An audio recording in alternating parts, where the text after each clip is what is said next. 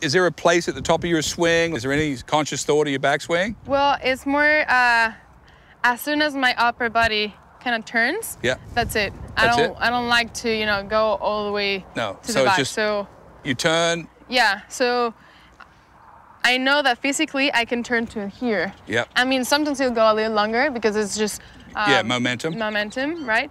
But I try to to just turn as much as I can, and that's That's it. that's it. So you kind of max out Right. on your backswing without your arms going by themselves any further. Well, of course, I try not to because if if not, it just everything kind of goes disconnected. Yeah, you it know? gets uh, sloppy, right? Yeah, but if I if I try to just continue my rotation, Yeah.